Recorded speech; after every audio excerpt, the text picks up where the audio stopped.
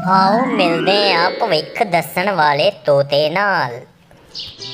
ਆ ਬੜੀ ਭੀੜ ਇਕੱਠੀ ਹੋਈ ਆ ਜੇ ਪਿੰਡ 'ਚ। ਵੇਖੀ ਕਿਤੇ ਕੜੀ ਚੌਲ ਦਾ ਲੰਗਰ ਤੇ ਨਹੀਂ ਲੱਗਾ ਅੱਗੇ ਕਿਤੇ? ਸਾਡੀ ਆਪਣੀ ਪਾੜੂ ਇਹ ਕਿਹੜਾ ਬਾਬਾ ਜੀ? ਮਨ ਪੜਾ ਪਾਰੋ ਲਿਖਿਆ ਹੀ ਚੁੱਪ ਕਰ ਬੋਣੂ। ਓ ਚੂਸਿਓ ਪਰੇ ਹੋਈ ਯਾਰ ਉਹਨਾਂ ਨੂੰ ਵੀ ਬੈਨ ਦੋ ਜਰਾ ਚੋਰੀ ਕਰਕੇ। ਉਹ ਕਿਦਾ ਸਾਂਡ ਖੁੱਲਾ ਰਹਿ ਗਿਆ ਰੇ ਪਿੰਡ ਲਿਓ ਮੰਨ ਲਓ ਇਹਨੂੰ।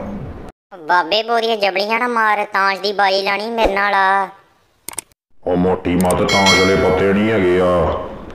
ਆ ਤੋਤੀ ਨਾਲ ਕਿੱਥੇ ਘੁਮਾਈ ਫਿਰਦਾ ਨਾਲੇ? ਉਹ ਅਮਲੀਆ ਤੇਰੀ ਤੋਤੀ ਵਰਗੀ ਨਹੀਂ ਆ। ਭਵਿੱਖ ਦੱਸਣ ਵਾਲੀ ਚਮਤਕਾਰੀ ਤੋਤੀ ਆ। ਅਹਾਂ ਲੈ ਤੇਰਾ ਪਤਾ ਨਾਮ ਕਾਲਾ ਤੇ ਕੰਮ ਨਿਰੇ ਕਾਲੇ। ਹਮੇਸ਼ਾ ਦੂਜਿਆਂ ਦੀ ਲੜੀ ਕਰਦਾ ਰਹਿੰਦਾ ਪਰ ਹੋ ਆਪਣੀ ਜਾਂਦੀ ਹੈ।